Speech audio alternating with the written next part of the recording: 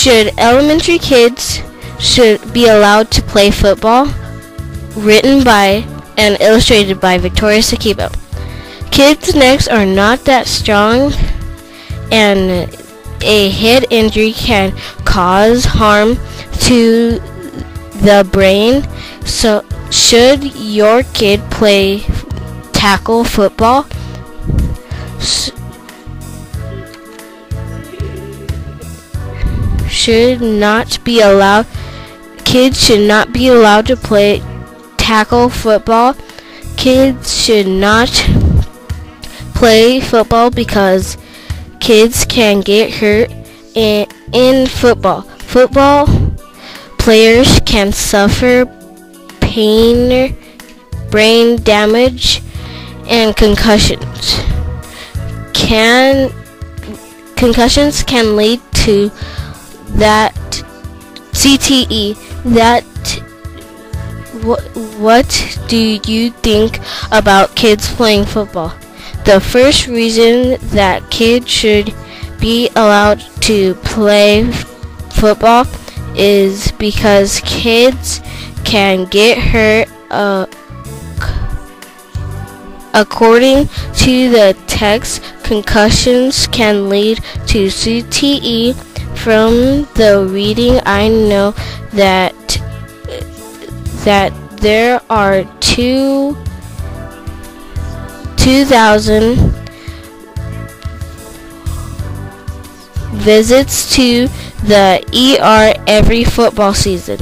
Do you still like kids playing football now? I the second reason that kids that football players can suffer permanent brain damage from for for instance permanent brain damage can cause lifelong pain and memory loss. That it can also cause aggression depression and death these are some reasons why players suffer permanent brain damage.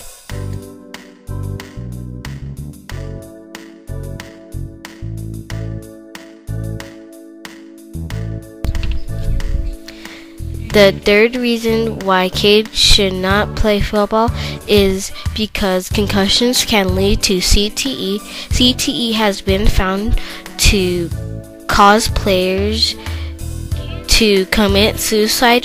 One out of three